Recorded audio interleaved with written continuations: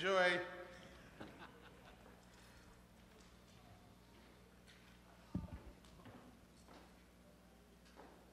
Good evening, folks. Uh, oops. Uh, good evening, folks. Um, thanks, uh, thanks for being here. Sorry about the wait. Uh, my name is Raghav. Um, I'm, a, I'm a student at the University of Illinois at Urbana-Champaign. Um, and um, over the last summer, I've been working on a little bit of adversarial machine learning. And uh, for those of who, you who don't know uh, adversarial machine learning, it's basically you want to fool or break the machine learning algorithm. So um, there's a lot of hype around AI these days. Uh, you know, from from machine translation, you can translate from French to English. Uh, a lot of image recognition. Your your iPhones have your facial recognition. Uh, lots of um, hype around the self-driving car, um, which I, I, personally don't believe in, but hey, um, it's good to live in the dream, I guess. Um, so lots of people following that track and uh, supposedly machine, machine learning and AI is going to be the next big change. Um, you know, so machine learning is basically based on a concept that we, uh, the, the, machines think like humans. And um, so especially in visual computing, uh, when you have these facial detectors and, uh, you know, self-driving cars that, so, so it really begs the question, how does the computer look at uh, images? And, um, you know, how are they different in perception as we look at objects. Um, so it turns out uh, the computers look at extremely differently. And uh, so the images you see here are 32-bit float. And, uh, you know, so it turns out that in a machine learning classifier, so first of all, uh, neural networks, if, if you guys have heard about it, have recently achieved human level performance. And uh, they've been really successful and you know they've been deployed deployed in your iPhones and stuff. Uh, but turns out you can actually introduce a perturbation, or as you can you can see a random noise out here um, that looks random to the human eye, but if you add that noise to your original image, can completely misclassify the output. So if you look at the school bus here, so this is one of the perceptions of machine learning, and it gets classified as school bus. Now, this is another perception of a school bus by the computer, and uh, this is based on the direct uh, encoding. So you basically are looking at a pixel level mapping. And here's uh, the second picture, uh, the stripes one, is an indirect encoding. So you basically take a pixel and you're trying to map a pattern uh, on the nearest neighbors. And uh, so surprisingly, you know, with the human level performance uh, of these neural networks, you're able to get these perceptions. And hey, these are not school buses. So uh, why are these algorithms being deployed in, you know, facial recognition and self-driving cars? Uh, another example is, um, you know, uh, these from top to bottom uh, are the representations of zero. So this is what zero looks like um, if you visualize inside a neural network and you look at the intermediate layers. Um, so something really sketchy is going on inside. And um, so there was this concept introduced by a few researchers from uh, Google Brain. And uh, so they took this image of a panda and uh, so they passed it on a, onto a machine learning classifier and they got about 57% confidence that, hey, it's a panda. Um, then they add this visually imperceptible noise, which is imperceptible to the humans, but when they add that noise, it gets completely misclassified as a gibbon. So to give you a perspective, um, if your self-driving car tomorrow uh, misclassifies a green light as a stop sign, or a stop sign as a green light, um, so that's a precarious situation. Um,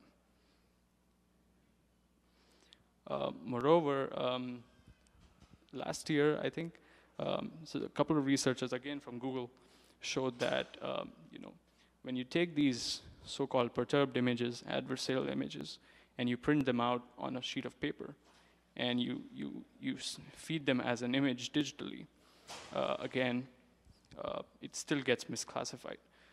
So here you see the image. Uh, so they actually printed it out on a paper, uh, the noise, uh, the noisy image, and it, it got misclassified by the uh, algorithm. So um, that shows that these perturbed images, these noisy images that can fool the classifier can exist in real world. They also tried that with a 3D turtle. So they actually 3D printed a turtle uh, with these noisy images.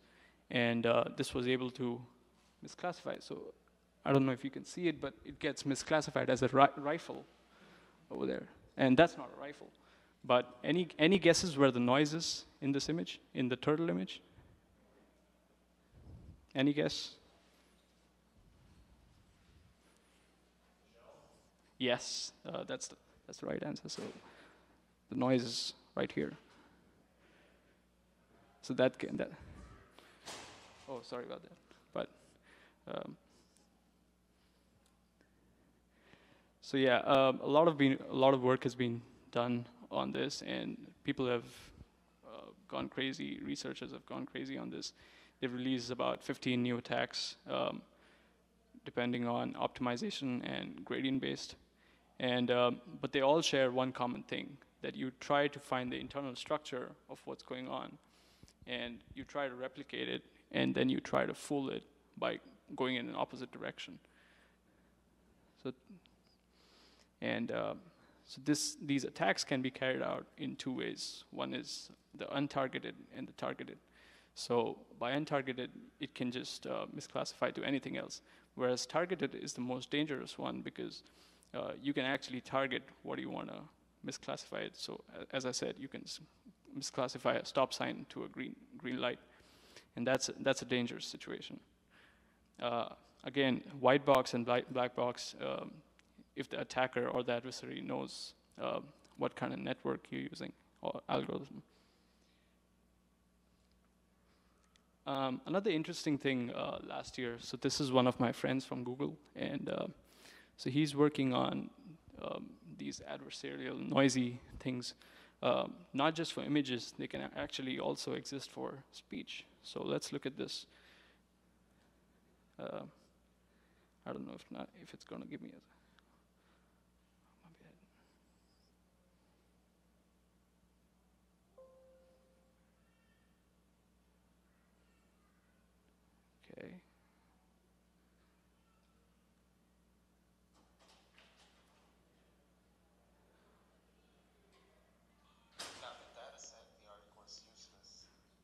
Did you guys hear it? Sorry about the guys in the back. But it says without the data set, the article is useless. And uh, that's the original output. So this is basically a speech to text conver- converter that, that's used in Siri and uh, Google, Google, Now. Um, and uh, when, this, when this speech is passed on, so the output is without the data set, the article is useless. But if, I, if, uh, if they passed on a slightly noisier version of it,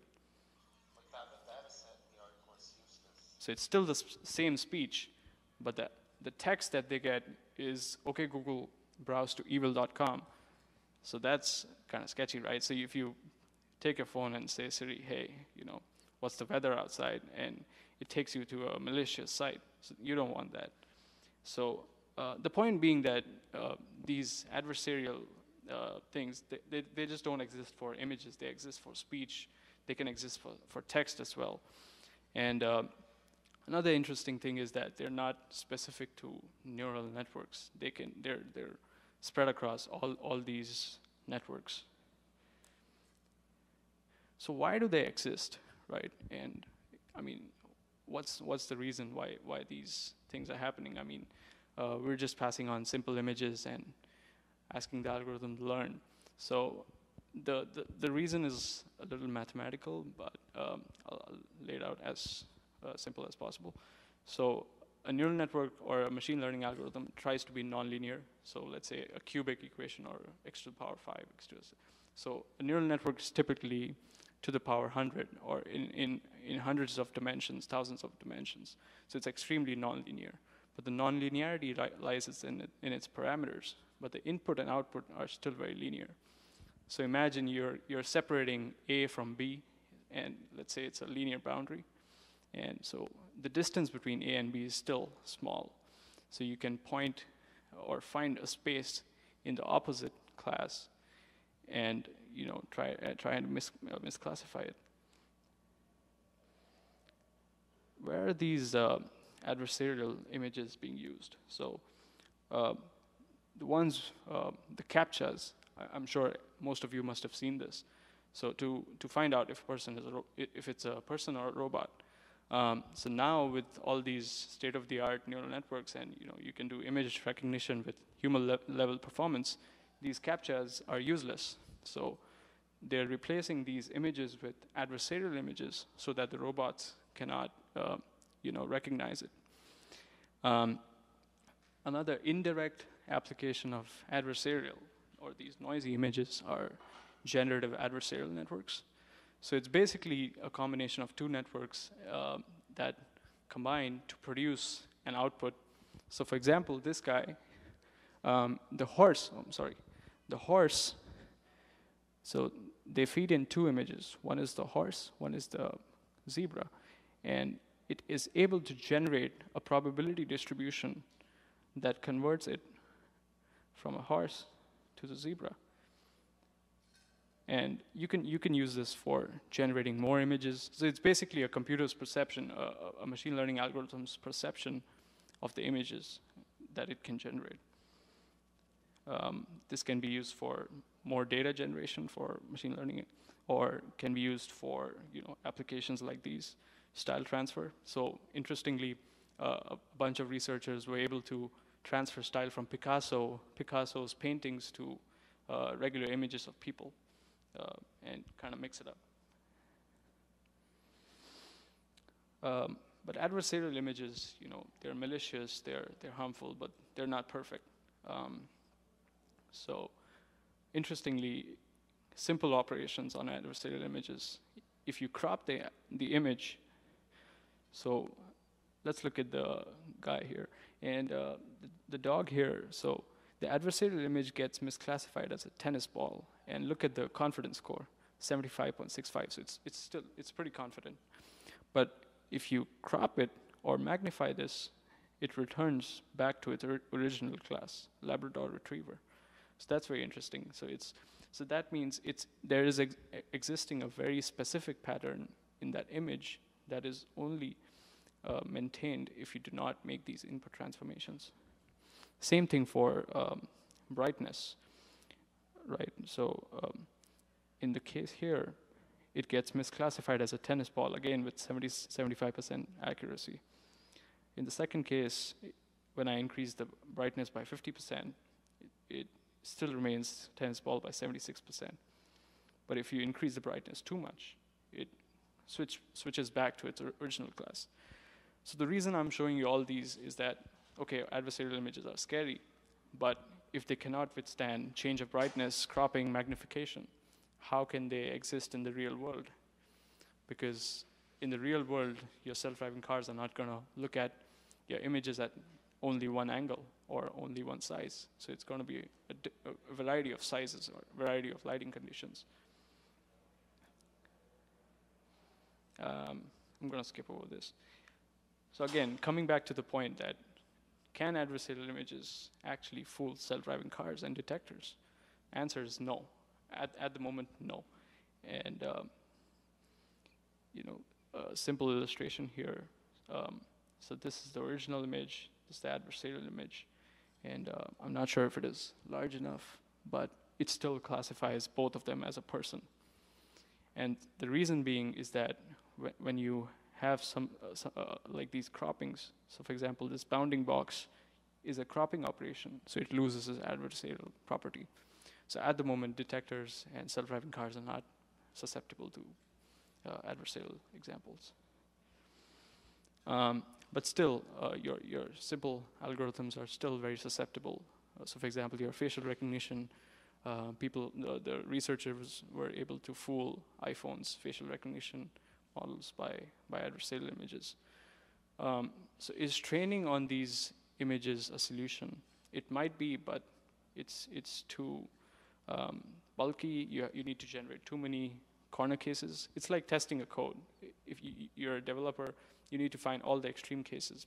But what, what if you have a thousand extreme cases? So it becomes kind of cumbersome to find all those extreme cases, I guess.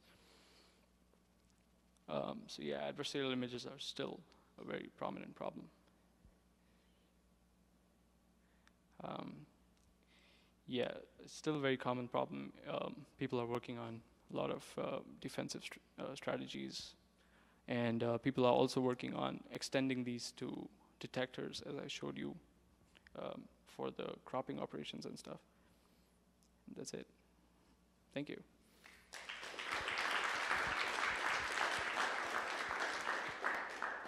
Um, any questions?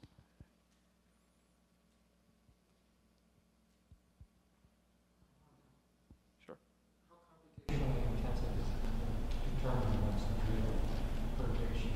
Uh, so the way it works is, um, I'll, I'll show you. So if you see the sig the epsilon term um, here, which is 0.07, so that term actually determines how much you're perturbing your image. So it, it kind of becomes like a beam search. You want to you want to have a, a balance between how much you want to perturb your image. So it's a it's a strong perturbation, strong misclassification, but you also don't don't want to perturb it too much, otherwise it becomes um, perceptible to the human eye. So uh, the more you increase the epsilon, the computation increases, but there's a trade-off. uh, image recognition software were you using for these tests, and, and did you use multiple different types? Yeah. So I in fact used um, all the all the possible networks, and uh, one one interesting fact is when you so if you're if you're familiar with most of the image recognition models, so another interesting thing about adversarial images is that they don't transfer very well. So for example, if you use a VGG-based network and a ResNet, uh, if you generate from VGG, they don't fool the ResNet, and so there's some transferability issues out there. Uh, there's this really cool uh, library by Google called CleverHans. It's maintained by one of their, their security staff, and uh, that's, that's really cool. That's what I used. Okay. Okay, thank you.